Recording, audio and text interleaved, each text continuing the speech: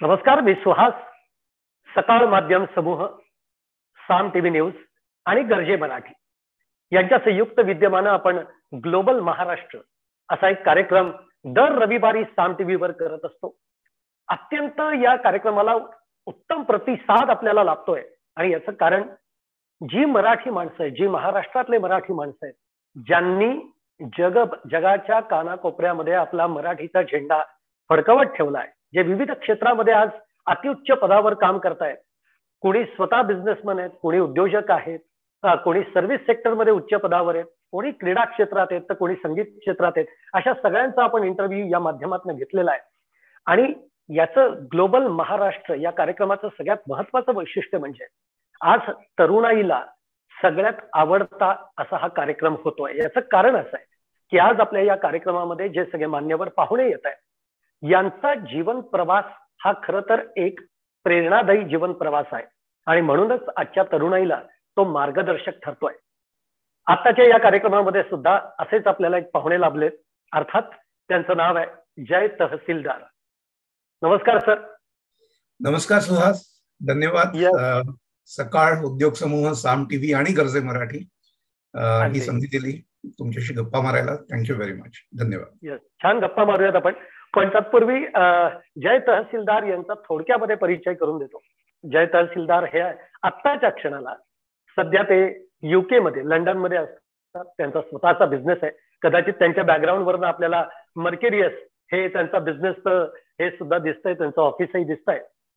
ते लंडनमध्ये आहेत. पण जय तहसीलदार जे आहेत ते मूळचे मुंबईतले अगदी मध्यमवर्गीय आयुष्य छान चाललेलं आयुष्य. पण जय तहसीलदार नावाप्रमाणेच जय आहे त्याच्यामध्ये. त्यामुळे त्यांना सगळ्यात जास्त आवड होती ती ट्रेकिंगची. म्हणजे महाराष्ट्रातले जवळपास महाराजांचे किल्ले जरी आपण म्हटलं तरी महाराजांचे किल्ले अनेक त्यांनी पादक्रांत केलेले आहेत. आणि त्याच्यानंतर एक प्रोफेशन असतं ज्या प्रोफेशनच्या माध्यमातून आपण या देशातून त्या देशात जात असतो तसा त्यांचा प्रवास सुरू आहे. सर अगदी मी सुरुवात करतो मला खरं तर खूप आवडणार आहे तुमचा हा सगळा जीवन प्रवास उलगडताना. पण माझं जे लक्ष गेलं किंवा म्हणजे आज तुम्ही इंजिनिअरिंग आहात तुम्ही सॉफ्टवेअर इंजिनियर आहात हे सगळं तुमचं एज्युकेशन तुम्ही पूर्ण केलं आणि त्याच्यानंतर तुम्ही आज प्रोफेशन म्हणून अगदी सिमेंट सारख्या कंपनी टाटा असेल किंवा आज लंडनमध्ये जाऊन तुम्ही स्वतःची कंपनी उभारली आहे. पण कॉलेजच्या काळामध्ये शालेय जीवनापासून जी तुम्हाला आवड होती ती ट्रेकिंगची आवड होती. आणि मला त्याचीच गंमत वाटते. कारण आत्ताच्या तरुणाईला जर आपण बघितलं तर ट्रेकिंग म्हणा किंवा ही आवड कमी होतीये. म्हणजे ज्याला आपण मैदानी काही करायचं म्हटलं तर लोक सहसा नको रे एवढ्या लांब नको त्या गडावर वगैरे कुठे जायचं आपण? असं साधारणतः एक सूर आत्ताच्या तरुणाईमध्ये बघायला मिळतो. पण मला असं वाटतं की जर माणसाला घडायचं असेल तर ट्रेकिंग सारखं एक उत्तम माध्यम दुसरं कुठलंही असू शकत नाही की जे आपल्याला आयुष्यामध्ये खूप काही गोष्टी शिकवून जातात. तुम्हाला या ट्रेकिंगने काय दिलं? आयुष्यामध्ये बघण्याचा एक दृष्टिकोन कसा मिळाला? धन्यवाद सुहास. सो महाराजांच्या गड किल्ल्यांवर फिरता फिरता अगदी सुरुवातीला काही फारसं कळत नव्हतं पण कुठेतरी नवीन ठिकाणी जायचंय रायगडला जायचंय राजगडला जायचंय कुठेतरी नवीन ट्रेक करायचा आहे हे अगदी लहानपणी जे किडा जो आपल्या डोक्यात असतो आणि तो मग तुम्ही करत असता तेव्हा तो केवळ निर्भळ आनंद म्हणूनच घेत होतो. तर बरोबर. मित्रमंडळींबरोबर बाहेर जाता येत आहे. काहीतरी कुठेतरी नवीन गोष्टी बघायला मिळत आहेत. इतिहासाची आवड होतीच. मराठी मीडियम मधलं एज्युकेशन असताना इतिहासाची पुस्तकं खूप वाचली गेली होती आणि त्या इतिहासाचं आणि गडकिल्ल्यांचे ऍक्च्युअल मधलं जे काही तिकडचं जाणं फिरणं वगैरे भटकणं होतं. त्या दोघांची एकत्र सांगड घालत असतानाच सुदैवाने असे लोक मला भेटत गेली. खूप अनुभवी इनोव्हेटिव्ह की ज्यांना काहीतरी करायची ओढ होती. आणि त्यांच्याबरोबर जे प्रोजेक्ट करत करत करत जेव्हा माझ्या लक्षात आलं की अरे याच्यामध्ये नुसतंच भटकणं किंवा नुसत्याच नवीन गड किल्ल्यांना भेटी देणं याच्यापेक्षा त्यात प्लॅनिंग आलं. त्याच्यामधलं सगळं ते एकदम मेटेक्युलस एक्झिक्युशन आलं. कारण तुम्ही गड कुठल्या तरी गडावर गेल्यानंतर तुम्हाला लक्षात आलं की अरे आज आपल्याकडे माचीच नाहीये किंवा काही गोष्टी ज्या आपल्याला लागणार नीट नाहीये. तर मग तुम्ही तिथे लगेच जाऊन कुठल्या दुकानात आणू शकत नाही. तर हे हे जे हा जो पार्ट होता तो खूप महत्त्वाचा होता आणि त्यातनं खूप शिकायला मिळतच. आणि आपल्याकडे हजारो तरुण तरुणी आहेत महाराष्ट्रात की ज्यांनी खूप गेली काही वर्ष पंचवीस तीस चाळीस वर्ष जे ट्रेकिंग केलं त्यातनं ते खूप शिकले. बट इम्पॉर्टंट थिंग इज की त्याच्यात ह्या ऍडव्हेंचरमध्ये वेंचर हा जो पार्ट आहे तेव्हा तुम्ही स्वतःच जेव्हा वेंचर काहीतरी चालू करत असता तेव्हा त्याला ऍडव्हेंचर लागतंच. So other than planning and meticulous execution हा साहस आणि ऍडव्हेंचरचा जो पार्ट आहे तो कुठल्याही प्रोफेशनलला आणि एंटरप्रेनरला दोघांनाही तो उपयोगाचा असतोच. पण त्याच्या बरोबरच तुम्ही तिकडे नुसतं काहीतरी प्लॅनिंग करायला शिकायला मिळतंय किंवा ऍडव्हेंचर करायला मिळतंय म्हणून जात नाही. तुम्ही आनंद घ्यायला जाताय. आणि तो आनंदाचा जो पार्ट असतो त्या जर्नी मधला त्या तुमच्या प्रवासातल्या आनंदाचा पार्ट असतो तो फार महत्त्वाचा मला वाटतो की तुम्ही काही नवीन करताय मग अगदी लहानात लहान गोष्ट असं काहीतरी नवीन मोठा बिझनेस चालू करायचा असो त्यातलं प्लॅनिंग आणि ऍडव्हेंचर हा पार्ट असू द्या पण त्याच्याबरोबर तुम्ही आनंद जपा. ती सगळी जर्नी एन्जॉय करा. हे मला खूप शिकायला मिळालं. क्या बात आहे तुम्ही हे सगळं गड किल्ल्यांची भटकंती करत असतानाच तुम्ही माउंटेनिंगमध्ये गेलात. ही आवड आणि तिथला प्रवास तुमचा कसा झाला? सो महाराष्ट्रातल्या मुलांना हिमालयात जाऊन एक्सपिडिशन करणं हे काही नवीन नाही आपल्याकडे खूप वर्षांपासून हे काम चांगलं चाललेलं आहे. गिरिविया सारखे संस्था वायझेट सारख्या संस्था. आणि आता तर खूपच ते रुजलंय आणि वाढलंय हे मोठ्या एक्सपिडिशन करतच होते. आणि माझा ट्रेकिंग मधला जो काही अनुभव होता त्याच्यातनं काही मी फारसं खूप चांगला माउंटेनियर होणं वगैरे काही माझ्या डोक्यात नव्हतं. कारण पॅरलली प्रोफेशनल डेव्हलपमेंट चालू होती. इंजिनिअरिंग झालं व्हिजेटीआय मधनं. आणि सिमेंट सारख्या कंपनीत इंजिनियर म्हणून काम करत होतोच. पण त्याच वेळेला सत्त्याण्णव साली एक आपल्या महाराष्ट्रातल्या मुलांनी एक एव्हरेस्ट एक्सपिडिशन करायचं चाललं होतं.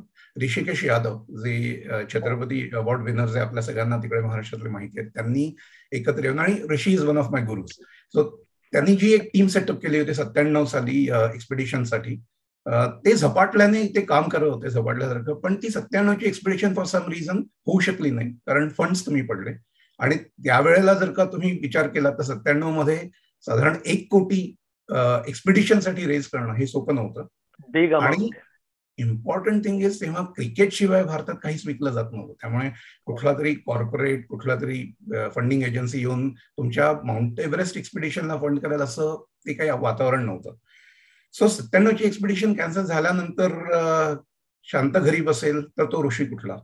पण ऋषीने लगेचच नवीन टीम जुनी टीम यांचा एक मिश्रण करून असं ठरवलं की चला आपण पुन्हा एकदा अठ्ठ्याण्णवला प्रयत्न करूया. आणि अठ्ठ्याण्णव भारताच्या स्वातंत्र्याला पन्नास वर्ष पूर्ण झाल्यामुळे ते एक संपूर्ण सत्त्याण्णव ते अठ्ठ्याण्णव वर्ष खूप सेलिब्रेशन चालूच होते.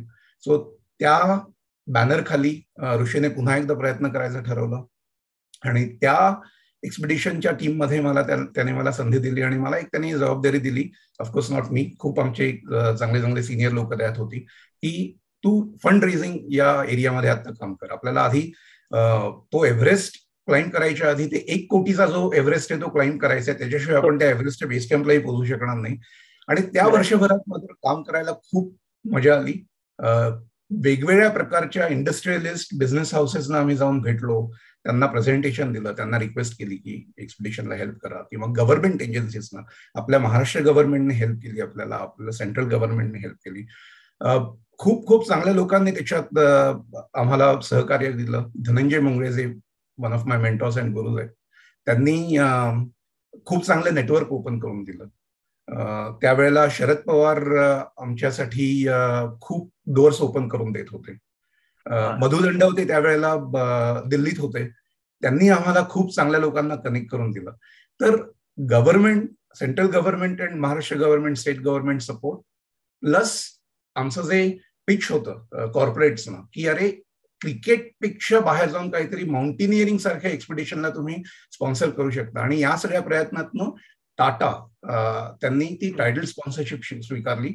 अँड ती ninety एटची expedition rather than Everest India ninety eight ती Tata Everest India ninety eight झाली. आणि या सगळ्या प्रयत्नातनं जो काही रिक्वायर्ड फंड होता तो आम्ही रेज केला. आणि अठ्ठ्याण्णवला अठ्ठ्याण्णवच्या फेब्रुवारी महिन्यात फायनली ती एक्सपिडिशन सुरू झाली. मे अठ्ठ्याण्णवमध्ये पहिल्यांदा भारतातली नागरी मोहीम जी Tata Everest India ninety eight Rishikesh यादवच्या leadership खाली आम्ही पहिल्यांदा सक्सेसफुल केली. आपल्याकडचे सुरेंद्र चव्हाण आणि लवराज धर्मसत्तू या दोघांनी ते सबमिट केलं. आणि त्याच्या आधीच्या एक्सपिडिशन ज्या भारतातनं सक्सेसफुल झाल्या होत्या त्या सगळ्या सर्व्हिसेसच्या म्हणजे आर्मी आय टी बीपी सारख्या एक्सपिडिशन होत्या ही पहिली नागरी मोहीम जी आपण सक्सेसफुल करू शकलो त्या एक्सपिडिशनमध्ये मला काम करायलाही वेळ मिळाला आणि त्या संधी मिळाली आणि त्या एक्सपिडिशनचा पार्ट म्हणून मी अडीच महिने एक्सपिडिशनच्या टीम बरोबर तिबेटमधल्या बेस कॅम्पलाही होतो. खूपच सुंदर अनुभव आणि खूपच माझ्या स्वतःच्या जीवनाला मी जर का खरं सांगितलं तर तिकडनं एक एक वळण मिळालं. की अरे छोटा असो का मोठा असो कुठल्याही प्रोजेक्टमध्ये तुम्ही झोपून द्या त्याचं चांगलं काम तयारी करा अवघड काहीच नाहीये. काहीच नाहीये. हे जे साहस आहे हे साहस तुम्हाला कुठनं आलं? म्हणजे हे सगळं बळ ज्याला आपण म्हणतो घरनं आपल्याला खरं तर कधी कधी या गोष्टींना प्रोत्साहित केलं जातं. तसं घरातली बॅकग्राऊंड तुमच्या या सगळ्या ऍक्टिव्हिटीजला कशी प्रोत्साहित करत होती? घरात ना अतिशय प्रोत्साहन नेहमीच मिळायचं. वडील आमचं सगळं कुटुंब जळगावातलं शेतकरी कुटुंब पण लेट फॉर्टीजमध्ये वडील नोकरी निमित्त मुंबईत आले. आणि ते मुंबई पोलीसमध्ये काम करत होते. त्यामुळे ते घरातलं थोडं साहस आणि never say don't give up काही असलं तरी वडील प्रोत्साहन द्यायचे. आई वडील माझी बहिणी भाऊ नेहमी प्रोत्साहन द्यायचे. आणि ठीक आहे करायचंय ना करा. अपयश आमच्या घरी काही प्रॉब्लेम नव्हता. Failure was never a problem at our house की कुठलीही गोष्ट तुम्ही करायला घेतली नवीन तर ठीक आहे फेल झालं it's one of the two outcomes कधी तुम्ही सक्सेसफुल व्हाल कधी तुम्ही फेलियर तुम्हाला दिसेल. तर त्यामुळे पहिली पायरी आहे. त्यामुळे घरनं नेहमीच सपोर्ट मिळायचा. मग ते ट्रेकिंग असो का काय? आणि दुसरी गोष्ट म्हणजे की घरात सगळ्यांना वाचायची आवड होती आणि इतिहासाची आवड होती. आणि त्याच्यातनं मात्र खूप शिकायला मिळायचं. म्हणजे शिवाजी महाराजांचं जे काही आयुष्य होतं आणि त्याच्यातनं गड किल्ल्यांना जायचं आणि ट्रेकिंग करायचं त्यांनी एक वेगळ्या ध्येयासाठी त्या गड किल्ल्यांचा वापर केला. नाहीतर सोपं होतं ना. सगळेच जण जर का तळ कोकणात किंवा पठारावर राहिले असते तर मग गड किल्ले ते झालेच नसते. त्यांच्या एका पर्टिक्युलर ध्येयासाठी त्यांच्या त्यांच्या सगळ्या त्यांच्या प्लॅनिंग मधल्या प्रोसेसमध्ये गड किल्ल्यांना खूप महत्वाचं होतं. त्याच्यामुळे आपण तिथे जायला लागलो. तिथे ते सगळे स्ट्रक्चर्स आणि आर्किटेक्चर्स वगैरे डेव्हलप झाले. आणि ती मजा आली. ते एकतर आवड आणि त्या आवडीतनं मग ते साहसी खेळ. साहसी खेळापेक्षा मी जास्त बघतो तो म्हणजे हा ती प्रोसेस जी मग मगाशी म्हटलं मी तुम्हाला की आनंद घ्या त्या सगळ्या प्रोसेसमध्ये घरातनं अगदी चांगला सपोर्ट घरातनं अगदी चांगला सपोर्ट मला वाटतं की तुमच्यावर आई आणि वडील या दोघांचाही जास्त प्रभाव आहे असं मला वाटतं. कारण वडिलांनी जळगाव मधनं म्हणजे ते अकरा भावंड आय थिंक आणि त्याच्यातनं त्यांनी हे धाडस केलं की आपण जळगाव सोडून मुंबईत यायचं. आणि मुंबईत ते स्थिरस्थावर झाले. एक संघर्ष दोघांनी म्हणजे आई वडिलांनी दोघांनी एक संघर्ष केलाय आणि तो तुम्ही सगळा जवळनं बघितलेला आहे. मला वाटतं की ते तुमच्यावर जास्त प्रभाव आहे तुमच्या एकूण आयुष्याच्या ह्याच्यावर बघता. काय सांगाल? दोघांचं कसं ज्याला आपण आम्ही काही संघर्ष केला नाही. त्यांनी जो संघर्ष केला तो जे काही आम्ही केलं त्याच्यापेक्षा खूप जास्त मोठा होता. आणि मी नेहमी म्हणतो की सक्सेस तुम्ही कुठे पोहोचलात ते त्याच्यावरनं मेजर करू नका. तुम्ही कुठनं सुरू केलं त्याच्यावरनं मेजर करा. त्यांची जी सुरुवात होती ती अशी होती की त्या खडतर आयुष्याच्या सुरुवातीनंतर ते मुंबईत येऊन स्थिरसावर झाले आणि मग त्यांनी आम्हाला भावंडांना आणि आपण असे हजारो आई वडील बघतो की जे खूप कष्ट घेतात एका पर्टिक्युलर पॉइंटला येतात आणि एक मग आपल्या मुलांना स्टेबल लाईफ देतात. ती लाईफ त्यांनी आम्हाला दिली म्हणून पुढे आम्ही काहीतरी घेऊन जाऊ शकलो. दोन चांगल्या आठवणी सांगतो वडिलांच्या की जेव्हा मी युकेला पहिल्यांदा यायला निघालो नव्याण्णवमध्ये तेव्हा मला असं वाटत होतं की अरे आता आई वडील जरा म्हातारे होत चालले त्यांच्याबरोबर राहायला हवं. त्यामुळे एक खंत होती. पण त्यांनी अगदी सोपं गोष्ट सांगितली. त्यांनी सांगितलं की जेव्हा सत्तेचाळीस अठ्ठेचाळीसमध्ये मी म्हणून जळगावातनं मुंबईला आलो तेव्हा तेव्हाच्या ट्रेन्स किंवा बसेस वगैरे होत्या त्या वाहन पद्धती होत्या त्यात आम्हाला पंधरा ते सोळा तास लागायचे पॅसेंजरने वगैरे यायला. आता तुला मुंबईहून लंडनला जायला पण साधारण म्हणजे नऊ तास प्रवास आणि बाकीचा सगळा वेळ धरला तो पंधरा ते सोळा तासच लागायचे. पूर्वी जर का काही घडलं काही इमर्जन्सी आली तर मला आमच्या गावातनं तार यायची आणि ती तार मिळाल्यानंतर मला तो प्रवास सगळा प्लॅन करायला लागायचा. आता तो तेवढ्याच अंतर वाढलं असलं तरी वेळेत जर का तू मेजर केला तर तो तेवढाच लांब आहेस that gave me lot of encouragement त्यामुळे त्यांनी मला कधी थांबवलं नाही. आणखी एक व्हेरी इंटरेस्टिंग पॉईंट जे मला ऍज अ एंटरप्रिनर खूप महत्वाचं वाटलं. सो दोन हजार चारला जेव्हा मी माझी शेवटची नोकरी सोडून मर्किरियस आय टी सेटअप करायचा असा निर्णय घेतला तेव्हा मी आई वडिलांना भेटायला म्हणून मुंबईला आलो. आणि वडिलांना म्हटलं की थोडीशी भीती वाटतीये की मी आता नोकरी सोडतोय चांगली नोकरी होती चांगलं लाईफस्टाईल होतं. आणि ती सोडून आता काहीतरी नवीन उद्योग सुरू करायचा म्हणतोय आय टी कंपनी चालू करायचं म्हणतोय दोन हजार चारमध्ये. थोडी भीती वाटते तर म्हणे का भीती का वाटते तर म्हटलं की आता जो काही स्टेबल जो काही पगार आहे तो मिळणार नाहीये. आणि आपल्या फॅमिलीमध्ये आतापर्यंत कोणी बिझनेस केला नाही आपल्या फॅमिलीमध्ये कोणी एंटरप्रिनर्स नाहीये. तर मला वडिलांनी सांगितलं तुला कोणी सांगितलं आपल्या फॅमिलीमध्ये एंटरप्रिनर्स नाही आहेत? म्हणजे माझी पिढी जी मुंबईला आली ती सोडली तर आपली सगळं कुटुंब गेली तीन चारशे पाचशे वर्ष जे आपल्याला माहिती आहे सगळे एंटरप्रिनर्स आहेत. So I was little surprise मी म्हटलं अरे असं कसं? म्हणजे आपण शेतकरी आहोत आणि हा शेतकरी जो असतो तो एंटरप्रिनर्स असतो. तो स्वतःचा स्वतः त्याला कोणी पगार द्यायला जात नाही.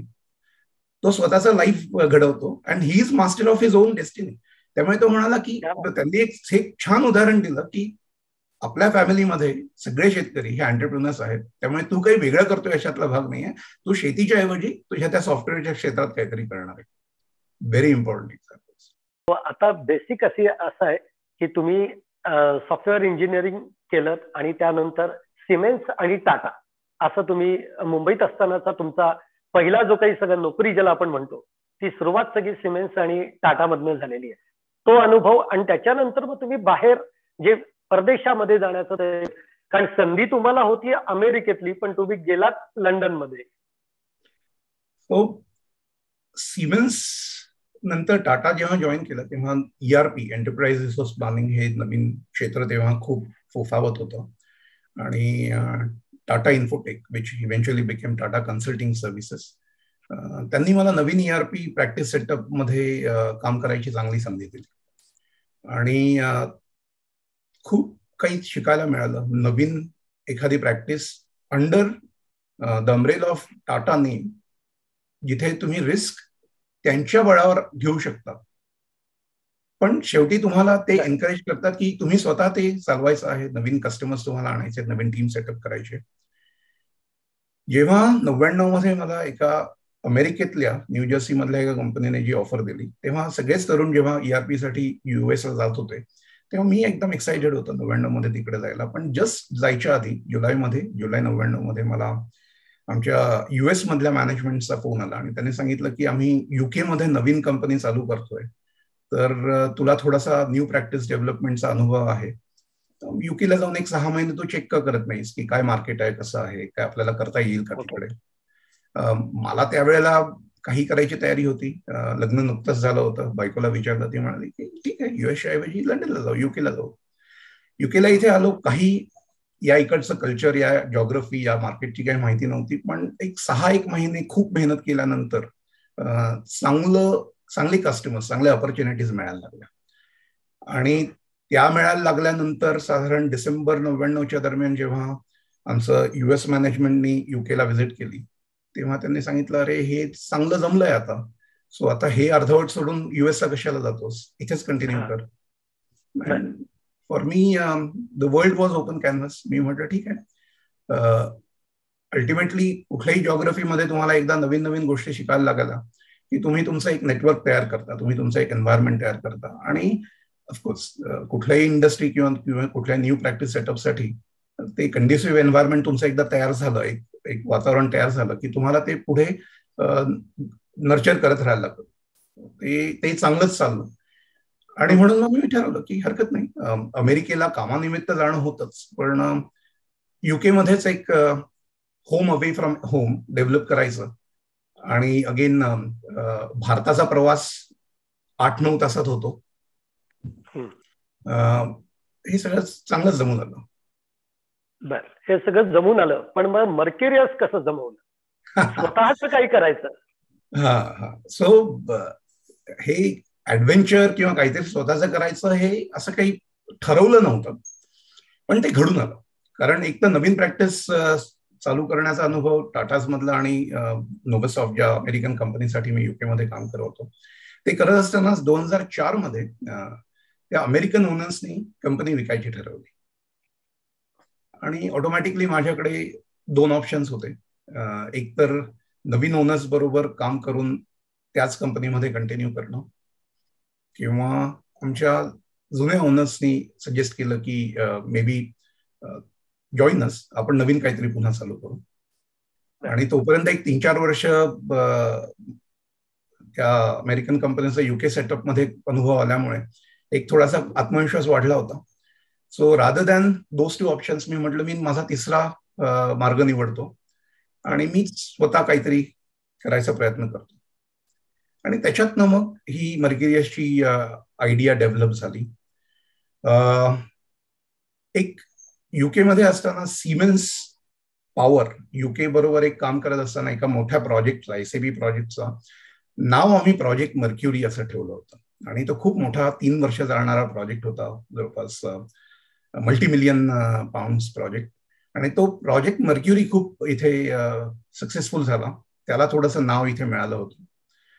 तेव्हा नवीन कंपनीचं नाव काय निवडायचं याचा विचार करत असताना माझ्याच क्लायंटनी मला सजेस्ट केलं अरे तू नाव शोधतोयस मग हे प्रोजेक्ट मर्क्युरीचं मर्क्युरीच तू का वापरत नाहीस?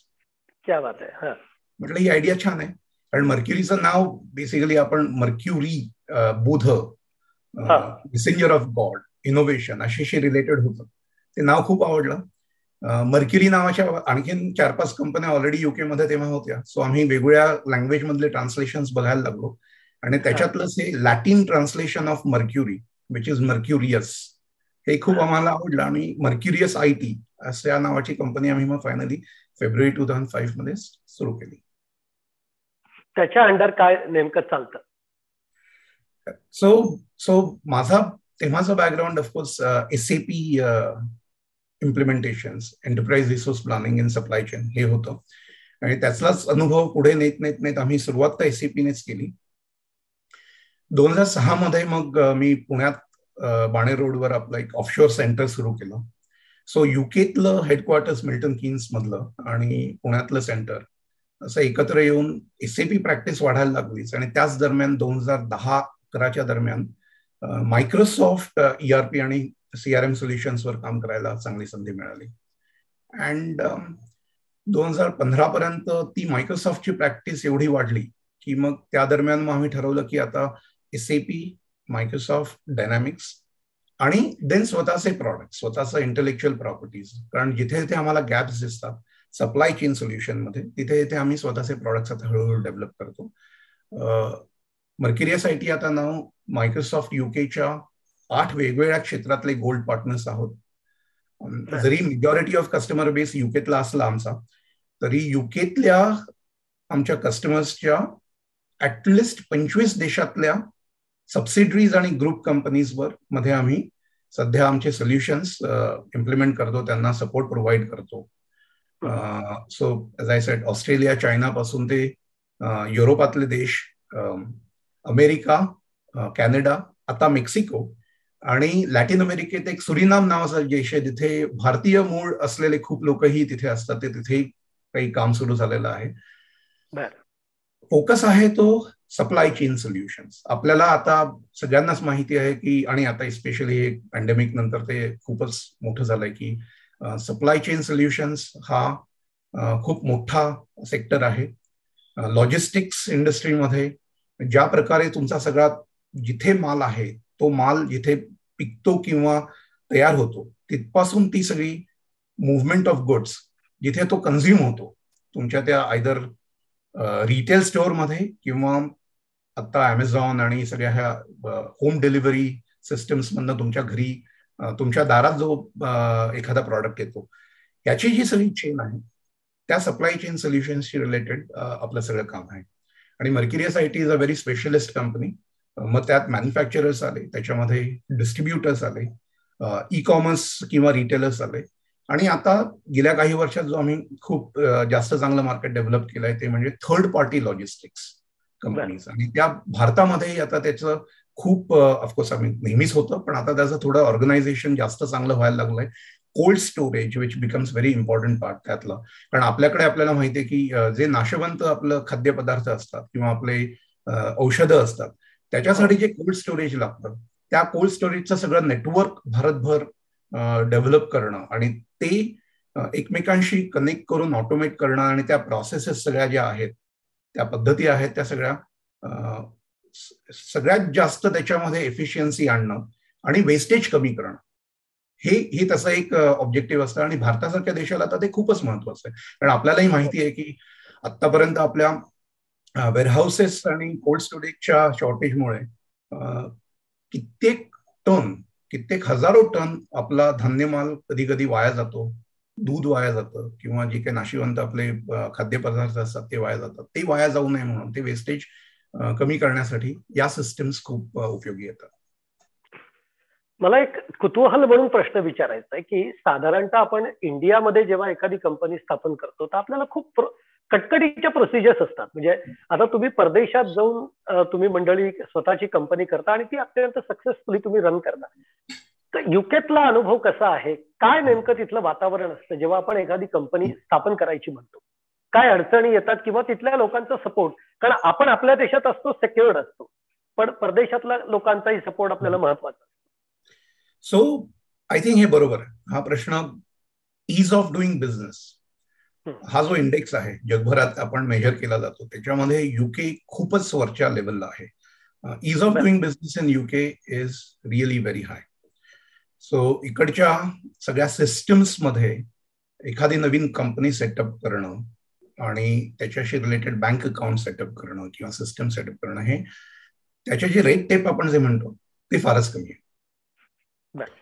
आणि आता नव्याण्णवमध्ये मी इथे आलो आणि आता दोन हजार बावीस ऑलमोस्ट तेवीस वर्षांमध्ये मी बघितलंय की भारतीय उद्योग म्हणजे आधी जे प्रोफेशनल्स म्हणून इकडे येतात. आय टी असो किंवा बाकी क्षेत्रातले असो मेडिकल प्रोफेशन असो. त्यांनी इथे येऊन चांगलं काम करून ऍज अ प्रोफेशनल स्वतःचे उद्योग चालू करण्याचा जो काही वेग वाढलाय त्याचं एक मूळ कारण हेच आहे. एकतर कॉन्फिडन्स आलाय कॅपिटल सगळ्यांचं बिल्ड होत आहे मोस्ट इम्पॉर्टंटली त्यांच्या लक्षात आलं आमच्या सगळ्यांच्या की इज ऑफ डुईंग बिझनेस या देशातलं खूपच चांगलं आहे. आणि हळूहळू मी बघतोय गेल्या काही वर्षांपासून आता दोन हजार सहा मध्ये मी आमचा इंडियाचा बिझनेस सेटअप केला. आणि मी नेहमी ते कंपेअर करत असतो की अरे जर का मला माझे प्रोसेसेस जे काही गव्हर्नन्स आणि स्टॅच्युटरी प्रोसेसेस असतात ते युके मधल्या पूर्ण करायचे असतात आणि विजा बी मी जेव्हा इंडियातल्या बघतो ते इंडियात ऑब्व्हियसली ते आधीपासूनच कॉम्प्लिकेटेड होतं. दॅट्स हिस्टॉरिकल आपण हळूहळू चेंज होतोय. पण दोन हजार सहा ते दोन हजार बावीस पर्यंतचा प्रवास बघितला तर हळूहळू ते सोपं होत चाललंय. आणि ते सोपंही होत चाललंय. ऑफकोर्स आता ऑनलाईन टेक्नॉलॉजीज असल्यामुळे कंपनी सेटअप कंपनीचे रेकॉर्ड आणि तुमचे अकाउंट फायलिंग वगैरे हळूहळू या प्रोसेस पण आपल्याकडेही खूप ऑटोमेटेड झालेले आहे. GST is a big factor कारण हो. अख्खा देश आता एक मार्केट म्हणून आपल्याला मिळाला. इकडे आपल्याकडे ऑफकोर्स युके मध्ये व्हीएटी हे अतिशय सोपी प्रोसेस आम्ही गेल्या बावीस तेवीस वर्षांपासून अनुभवतोच आहे. पण ती जेव्हा जीएसटी म्हणून इंडियात इम्प्लिमेंट झाली ते सुरुवातीचे जे काही ट्रबल्स ट्रेडिंग ट्रबल्स असतात ते तुम्ही काढले की ती जी सिस्टीम आहे ती आपल्याला भारताला खूप पुढे नेणार आहे. आणि ते आम्हाला इकडे व्हीएटी वापरून माहिती होतच ऍक्च्युली आपण त्या सगळ्या प्रोसेसेस ज्या आहेत त्या बघून online filing systems one window operation या सगळ्या ज्या काही इकडच्या पद्धती होत्या त्या हळूहळू आता भारतामध्ये पण आणि भारतात कॉपी होत नाहीये तर भारतात ते भारताच्या स्टाईल प्रमाणे त्या अडॉप्ट केल्या जात आहेत कारण आपला देश आणि युके किंवा युरोप किंवा अमेरिका आपण असं तुलना त्याची करू शकत नाही. सगळ्याच गोष्टी वेगळ्या आहेत. आपलं हिस्ट्री आणि बॅकग्राऊंड वेगळं आहे. आपल्याला काहीतरी ब्लाइंडली कॉपी करायच्या ऐवजी आपल्यासाठी योग्य सिस्टम्स इम्प्लिमेंट करणं हे महत्वाचं आहे. आणि ऑफकोर्स आता तुम्ही जर का बँकिंग किंवा ई बँकिंग म्हणालात तर ई बँकिंगमध्ये भारताने खूप जास्त प्रगती केली आहे. म्हणजे युके मधलं ई बँकिंग किंवा पेमेंट गेटवेजचे प्रोसेसेस आहेत आणि भारतातल्या प्रोसेस आहेत. आय थिंक आपण खूप पुढे गेलोय आता. कुठल्याही नाक्यावर तुम्ही गेलात किंवा तुम्ही मुंबई पुणे प्रवास करत असताना किंवा कोकणात प्रवास करत असताना कुठल्याही लहान गावात जरी तुम्ही काही गेलात आणि काही वडापाव खाताय किंवा काहीतरी खेळताय तरी तुम्ही तिकडे त्या कोडवर स्कॅन करून तुम्ही पेमेंट करू शकता या सिस्टम ज्या इम्प्लिमेंट झाल्या these are also part of ease of doing business right की तुम्ही तुमच्या प्रॉडक्ट आणि सर्व्हिसेस विकताय.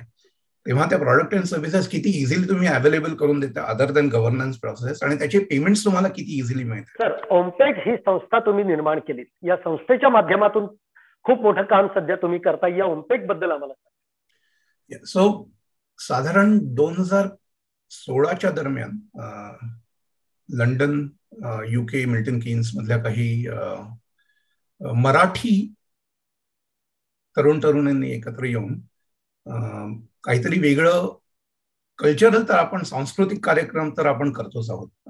गणेशोत्सव म्हणा किंवा गुढीपाडव्याचे कार्यक्रम दिवाळीचे प्रोग्राम हे चालूच असतात.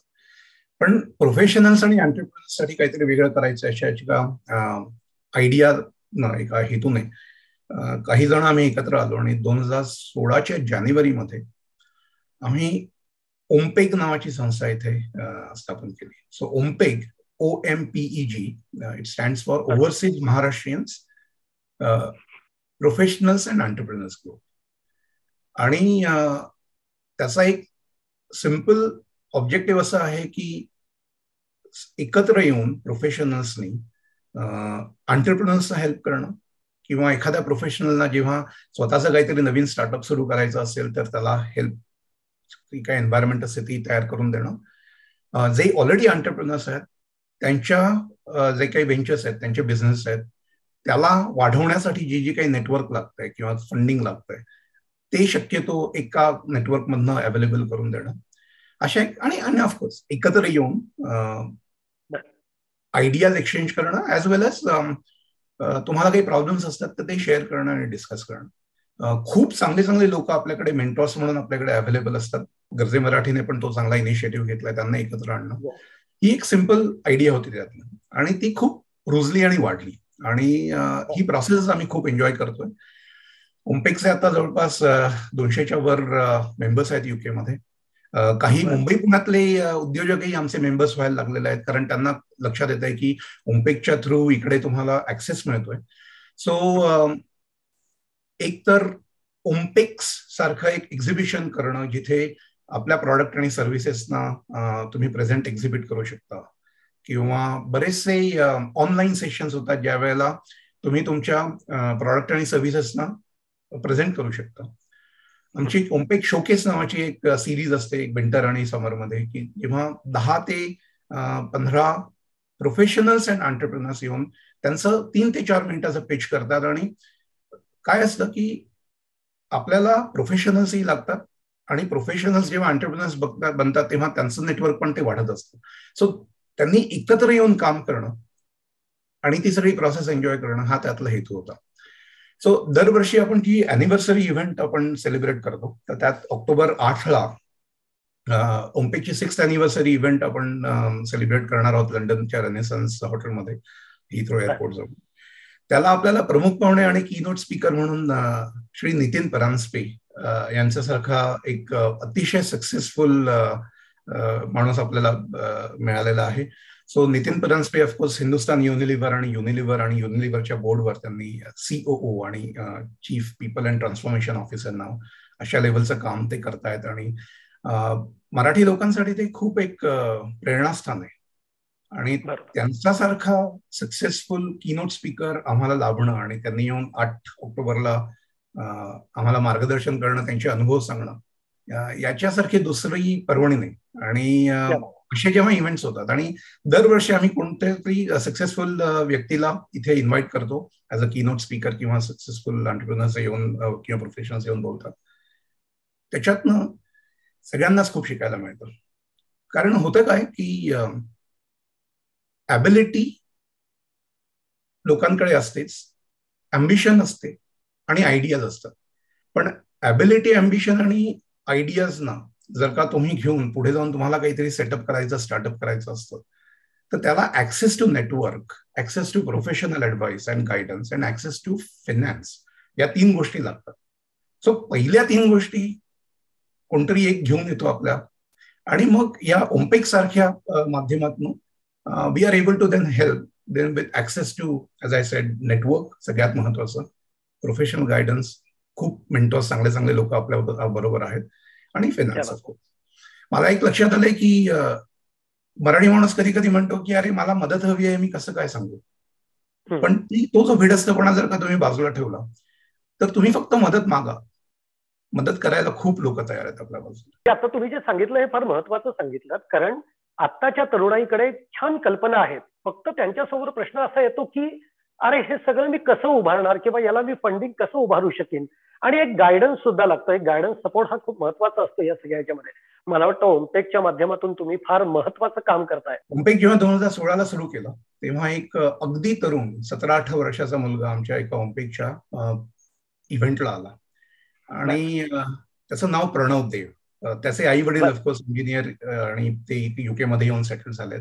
हा मुलगा इथेच वाढला इकडेच शिक्षण झालं. आणि सतरा अठरा वर्षाचा असताना त्या एका इव्हेंटला जेव्हा आम्ही काहीतरी नवीन अंटरप्रिनर स्टार्टअप्स वगैरे बोलत होतो तेव्हा प्रणव देवने प्रश्न विचारला की मला जर का काही करायचं असेल तर काय माझ्याकडे आयडियाज आहेत काय करता येईल आणि तिथनं त्याची जी जर्नी सुरू झाली तर त्याने शिक्षण एका पर्टिक्युलर पॉइंट नंतर त्याने पार्ट टाइम किंवा रिमोट डिस्टंट लर्निंग सुरू केलं. त्याच्या आई वडिलांनी त्याला खूप प्रोत्साहन दिलं राजेश आणि प्रीती देवने. आणि एवढ्या यंग एजला एवढ्या तरुण वयात त्याने युकेमध्ये आधी एक स्टार्टअप चालू केला. तो फेल झाला. दुसरा चालू केला. तो फेल झाला. थांबला नाही तो. तिसऱ्या स्टार्टअपची आयडिया त्याने लगेचच त्याच्यावर काम करायला सुरुवात केली. आणि जेव्हा त्याच्या लक्षात आलं की त्याचं जे सुपर लॉयल्टी ऍप म्हणून त्याचं जे काही स्टार्टअप आहे गेन ऑन नावाचं त्याच्यासाठी इंडियात भारतात जास्त चांगलं मार्केट आहे असं त्याच्या जेव्हा लक्षात आलं तेव्हा वयाच्या काहीतरी एकोणीसाव्या किंवा विसाव्या वर्षी युकेतलं अगदी चांगलं कोझी लाईफ सोडून तो पुण्याला शिफ्ट झाला. आता तो चिंचवडला त्याच्या आजी आजोबांबरोबर राहतो. आई वडील इथेच आहेत. आणि चिंचवडला राहून त्याने त्याचं गेन ऑन हे जे व्हेंचर आहे ते आता वाढवायला सुरुवात केली आहे. व्हेरी नाईस सो आपण इंडियातनं भारतातनं युरोप किंवा अमेरिकेला जाऊन आपलं करिअर वाढवतोय. आणि हा एक मुलगा जो युकेत वाढून मराठी मुलगा पुण्याला आलाय आणि पुण्याला तो त्याचं व्हेंचर वाढवतो. ही स्टोरी मला जास्त इन्स्पिरेशनल वाटते. अगदी अगदी. प्रत्येक वेळी खरं तर आपण असंच बघतो की इकडनं मी बाहेर कसा जाईन पण तिकडची माणसं देखील आज इकडे येऊ पाहतायत आणि आपलं सेट हो पाहतायत. आपल्या वेळेचं बंधन आहे त्यामुळे अगदी शेवटाकडे पुन्हा एकदा मी येतो. शेवटाच्या आधी म्हणजे अगदी शेवटचा प्रश्न विचारायच्या आधी एक पुन्हा की जी तुमची पहिली ट्रेकिंगची माउंटेनिअरिंगची सगळी जी आवड होती आता तर तुम्ही बिझनेसमॅन झालात तुम्ही युके मध्ये आहात. मग आता ही आवड तुम्ही कशी जोपासता? सो युके मध्ये ट्रेकिंग किंवा वॉकिंग करणं हे तर चालू आहेच. पण जे गड किल्ल्यांना भेटी देऊन नवीन नवीन जागा बघणं ही जी आवड भारतात मुंबईत असताना होती ती सुदैवाने मला इकडे ती थोडीशी त्याला ती कल्पना वाढवून आता वेगवेगळ्या देशांना भेटी देणं याच्यामध्ये मी थोडीशी ती कन्वर्ट केली. आणि जग फिरायचंय जग बघायचंय काहीतरी नवीन शिकायचं त्यातनं काहीतरी नवीन गोष्टी बघायचं हे डोक्यात नेहमी होतच. युकेला आल्यापासून मात्र त्याची संधी चांगली मिळाली. आणि कामानिमित्त आणि अदरवाईज कारण आमचं माझी बायको माझा मुलगा आम्ही तिघही आम्हाला भटकायला खूप आवडतं. त्यामुळे एक आयडिया डोक्यात होती की fifty before I am fifty की मला पन्नास देश बघायचे आहेत बिफोर आय टर्न फिफ्टी अशी एक आयडिया घेऊन माझं ट्रॅव्हल सुरू झालं. फॉर्च्युनेटली पॅन्डेमिकच्या आधी मी ते पन्नास देश पूर्ण करू शकलो. आणि ऑफकोर्स त्याच्यानंतर पॅन्डेमिक उठल्यानंतर ते ट्रॅव्हल रिस्ट्रिक्शन उठल्यानंतर पुन्हा आता ट्रॅव्हल कंटिन्यू करतोय. साधारण पंचावन्न देश फिरून झालेत. आणि फिफ्टी बिफोर आय एम फिफ्टीचं आता टार्गेट पुढे नेऊन हंड्रेड बिफोर आय डाय असं एक नवीन डोक्यात आयडिया आलेली आहे. की अटलिस्ट शंभर देश बघूया. आणि ऑफकोर्स त्याच्यासाठी जे काही लागतं त्याच्यासाठी काम करायला लागणारच आहे. आणि फॉर्च्युनेटली आता मला ती सुदैवाने संधी मिळाली की मी युकेत राहतोय त्यामुळे travel becomes much easier visa restriction कमी असल्यामुळे नवीन नवीन देशात पटकन जाता येतं. पण महत्वाचं म्हणजे की तिकडे जाऊन नुसतंच हॉलिडे करणं हा उद्देश कधीच नसतो. आम्हाला सगळ्यांना त्याच्यावर आधी रिसर्च करायला आवडतं. खूप काही काही आम्ही त्याच्यावर त्या देशाबद्दल त्या जागेबद्दल वाचतो. युट्यूबवरती व्हिडिओज बघतो प्लॅनिंग करतो. मग त्या देशाची जॉग्रफी हिस्ट्री पॉलिटिक्स तिकडचं कल्चर खाणं पिणं हे सगळं जाऊन तिकडे ते अनुभवतो. आणि खूप त्याच्यातनं संध्या संधी उपलब्ध होतात. बरेचदा असं होतं की कुठल्या तरी नवीन देशात गेलोय तिकडे ते काम कसं करतायत जे मी युके किंवा इंडियात करतोय. ते बघता येतं त्यातून नवीन शिकता येतं. कधी कधी नेटवर्क ओपन होतं. मी आता कामासाठी स्वीडनला गेलो होतो एका एका अगदी लहानशा गावात स्टॉकहोमच्या खूप नॉर्थला. आणि तिथे असंच एका संध्याकाळी डिनरच्या वेळेला गप्पा चालू असताना तिकडेच लोकल मायक्रोसॉफ्टचा एक पार्टनर तिकडे आला. आणि गप्पा मारत असताना आमच्या लक्षात आलं की त्या लहान गावात त्याला केवळ जे काही त्याला मनुष्यबळ लागतं तिकडे अवेलेबल नसल्यामुळे तो एक्सपॅन्ड करू शकत नाही ग्रो करू शकत नाहीये. सो त्यांनी मला विचारलं अरे तुम्ही कसं करता? तर म्हटलं आमचं काही आमचं युके मध्ये आमचं सेंटर आहे आमचं इंडियामध्ये सेंटर आहे आणि we just work like a global company आणि नुसत्या अशा संध्याकाळच्या गप्पांमधनं आम्हाला एक नवीन ऑपॉर्च्युनिटी ओपन झाली. ते म्हणाले अरे मग तुम्ही आमच्यासाठी काहीतरी डेव्हलपमेंट तुमच्या पुण्यातल्या सेंटरमधनं करू शकाल का? आणि काही मी त्या त्या पर्टिक्युलर डिनरला काही कामासाठी म्हणून गेलो नव्हतो. पण कोणतरी भेटलं काहीतरी चर्चा झाली. आणि जेव्हा दोन माणसं एकत्र येतात गप्पा मारतात. त्यातनं नवीन आयडियाज येतात त्यातनं नवीन ऑपॉर्च्युनिटीज ओपन होतात. क्या बात आहे. तेव्हा तुमच्या या शंभर देश फिरण्याचं जे काही तुमचं टार्गेट आहे त्याला शुभेच्छा आहेत. आणि तुमच्या ओमपेगला जे काही वर्धापन दिन आहे आठ ऑक्टोबरला त्यालाही आमच्याकडनं शुभेच्छा आहेत. आता अगदी शेवट की ज्याला आपण म्हणतो की या सगळ्या तुमच्या वाटचालीमध्ये एक तुमचा फॅमिली सपोर्ट तुमच्या पत्नी आहेत की ज्या तुमच्या या कार्यामध्ये तुम्हाला हातभार करत देत असतील. तसंच तुमचे चिरंजीव ते काय करतात? अगदी थोडक्यात. सो ऑफकोर्स माझी बायको सोनाली आम्ही मुंबईत घाटकोवर मध्ये एकाच बिल्डिंगमध्ये वाढलो. त्यामुळे आम्ही एकमेकांना चांगलंच ओळखून आहोत. सो आमच्या एकमेकांच्या आवडीनिवडी तर माहिती होत्याच आणि तिलाही ते ट्रेकिंग आणि माझं फिरण्याचं आवड वगैरे ते वेळ होते माहिती होता. दोघांनी ते आम्ही स्वतः डेव्हलप केलं. ती मिल्टन किन्समध्ये एका शाळेत शिक्षिका आहे. ती स्पेशल नीड्स चिल्ड्रनना शिकवते. सो इकडे एक स्पेशल नीड चिल्ड्रनसाठी वेगळ्या प्रकारचं शिक्षण दिलं जातं. त्यांना वेगळ्या प्रकारे ट्रीट केलं जातं. तर त्याचं तिच्यात स्पेशलायझेशन तिचं आहे. ती खूप पुरुषी पूर्वी मुंबईमध्ये जॅपनीज शिकली होती. त्या जॅपनीज भाषेचा पण त्याला इथे नंतर त्या पर्टिक्युलर एरियामध्ये काम करायला खूप उपयोग झाला. माझा मुलगा त्यालाही ट्रेकिंगची आवड आहेच. पण तो fundamentally science oriented biology chemistry maths oriented असल्यामुळे तो सध्या मास्टर्स करतोय बायोकेमिस्ट्रीमध्ये आणि युनिव्हर्सिटी कॉलेज लंडन युसीएल या जगातल्या एका प्रसिद्ध आणि चांगल्या नावाजलेल्या कॉलेजमध्ये तो आता सध्या मास्टर्सच्या इयरला आहे आणि तो बायो इन्फॉर्मेटिक्स या एरियामध्ये आता त्याचा मास्टर्सचा प्रोजेक्ट चालू करतोय. पण ही भटकण्याची आणि ट्रेकिंगची जी आवड आहे ती त्यालाही डेव्हलप झाली आहे. आणि तो युसीएलच्या हायकिंग सोसायटीचा प्रेसिडेंट आहे. त्यामुळे तोही वेळ मिळेल तेव्हा एव्हरी विकेंड ते त्यांच्या युसीएलच्या त्यांच्या हायकिंग ग्रुप बरोबर युके मध्ये भरपूर ट्रेकिंग करतो. बट देन सुट्ट्या असतात तेव्हा तो युरोपमध्ये आल्प्सला वगैरे पण त्यांच्या तो एक्सपिडिशन्स किंवा त्यांचे ट्रेक्स घेऊन जातो. त्यांच्या हाईक्स घेऊन जातो. आणि ते जे लिव्हिंग द ड्रीम म्हणतात ते तर तसंही सध्या चालू आहे. एकवीस वर्षाचा आहे आणि त्याने जवळपास पस्तीस देश आमच्याबरोबर तो भटकला आहे. आणि आता तो ते बायोकेमिस्ट्रीतलं बेड ऑफकोर्स युसीएलमध्ये तो काम करतोच आहे एनिवे पण त्याच्याबरोबरच पुन्हा ते हायकिंग सोसायटी ह्याचं काम तो करतोय.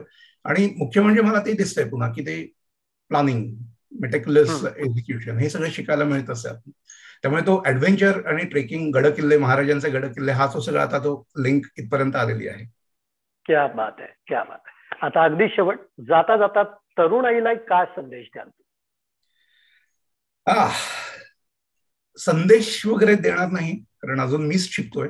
सतरा अठरा वर्ष मी माझा बिझनेस चालतोय चालवतोय तोही एकदम स्टार्टअप सारखाच चालवतोय. मलाच माझ्या नवीन कलिग्स कडनं यंग कलिग्स कडनं खूप शिकायला मिळतंय.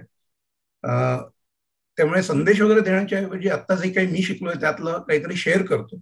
आणि ते म्हणजे मगाशी सांगितल्याप्रमाणे तुमच्याकडे जर का ॲबिलिटी अम्बिशन आणि आयडियाज असतील तर हेल्प अवेलेबल आहे. रीच आउट करा चांगल्या मेंटॉर्सना ऍडवायझर्सना मदत मागा. आणि तुम्हाला जे काही तुमचं स्वप्न आहे ते पूर्ण करण्यासाठी खूप काम करा. ती सगळी जर्नी एन्जॉय करा. केवळ डेस्टिनेशन मी तिकडे पोहोचलो की मला ते सक्सेस मिळेल आणि मग मी आनंद होईल असं नाहीये. तर ती जी प्रोसेस आहे तुम्हाला जे काही काही अचीव्ह करायचं असेल मग तो बिझनेस असायला असं काही नाहीये. प्रोफेशनमध्ये पण तेच आहे. ती सगळी तुमची जी काही स्वप्नाची प्रवास आहे तो तो प्रवास एन्जॉय करा. डेस्टिनेशन येईल सक्सेस मिळेल फेल्युअर्स येत राहतील ते तैनिमे आउटकम चालूच राहतील. करेक्ट सर तुम्ही खरंच वेळात वेळ करून या इंटरव्ह्यू म्हणजे आपल्या या सगळ्या प्लॅटफॉर्मवर तुम्ही आलात. आणि खूप खरं तर इन्स्पायरिंग आहे तुमचा हा सगळा प्रवास बघताना. आणि त्यातलं म्हणजे मी तर आता जर काही घ्यायचं झालं तर एवढं नक्की घेईन की ट्रेकिंगची आवड मलाही आहे. पण आता मी फिरण्याची आवड सुद्धा तुमच्यामुळे नक्की तुम्ही डेव्हलप करीन. पण खूप छान वाटलं तुमच्याशी गप्पा मारताना. आताच्या या कार्यक्रमामध्ये आपण इथंच थांबतोय पण गोगल महाराष्ट्र. या आपल्या कार्यक्रमामध्ये आपण पुन्हा पुढच्या रविवारी भेटणार आहोत. एका नवीन पाहुण्यासह तोपर्यंत पाहत राहा. शांती. धन्यवाद.